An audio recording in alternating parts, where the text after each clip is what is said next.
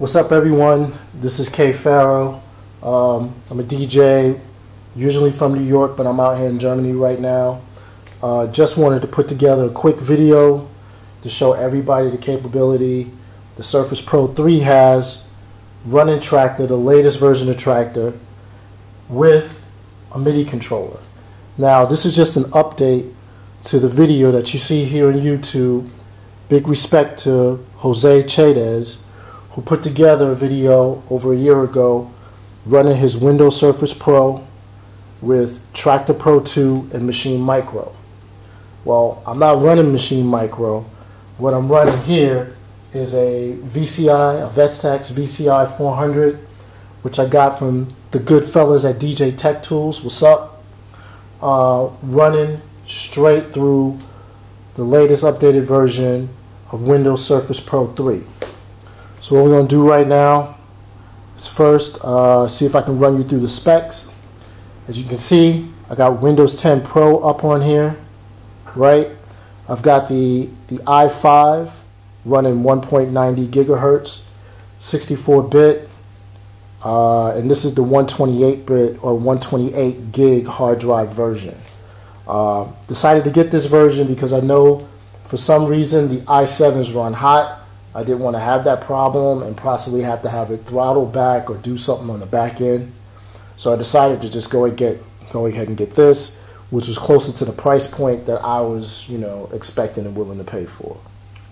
So without further ado, first thing I'm going to do is get out of that window. And like most Windows laptop users that run uh, that run Traktor, I'm gonna just go ahead and put this in airplane mode just so I can knock out the Wi-Fi. Now as you can see, I'm gonna go ahead and close out a Chrome and there you have it, it's Traktor. There's a little bit of back and forth in order to get the display to be right, but it can be done. So if you got any questions on that, if you really want to get to this version or to get this screen size and you're having problems, just respond to the video below and I'll hook you up. So, as you can see, mentioned in the screen, if I zoom in a bit, you can see there, I've got enough of the screen that I usually DJ with, um, with my MIDI controller. I really don't need anything more than this because everything is controlled here. So all the other settings, the global settings and stuff like that, I'm not really interested in. But just so you can figure out the capabilities, let's go ahead and uh, let's go ahead and play some.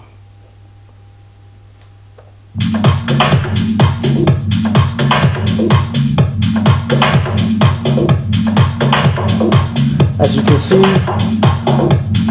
it runs fine. It runs fine, no problem.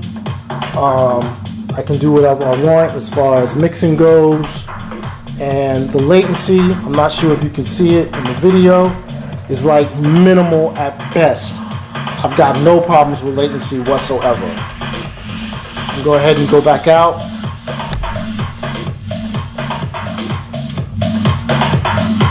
And I can control everything I want straight from here. Not a problem.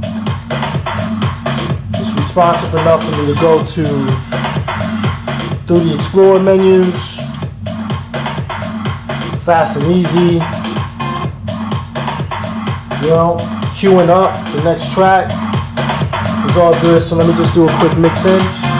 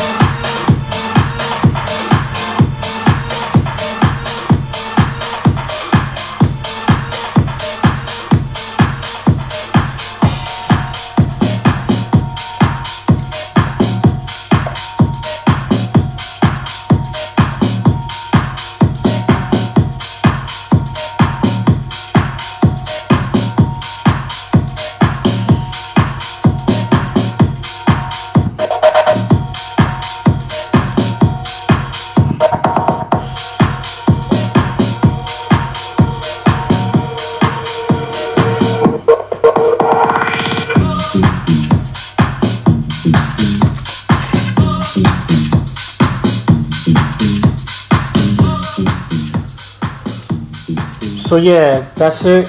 Of course, yes, sloppy mix. Okay, yeah, great. This wasn't meant to be the professional thing. I am in my living room, but I just wanted to show y'all all the functionality that the Pro 3 still gives you. Take that apart, still work, hold it flat, move it around, put it wherever I want. Course, as long as the USB doesn't come out and I still got power in it. So again, this is a Surface Pro 3, right? Running Traktor.